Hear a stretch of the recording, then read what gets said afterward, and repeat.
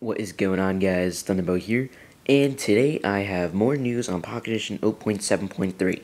So Johan tweeted this morning that he integrated the new login system for iOS, which will fix some of the issues that we had trying to log in and staying signed in when using Realms.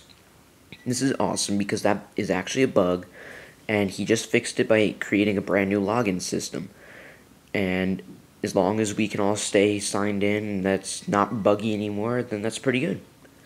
Anyway, I guess that's pretty much the end of this update. Thank you all for watching. If you found it helpful, be sure to leave a like and a comment. Also be sure to subscribe, and I'll see you next video.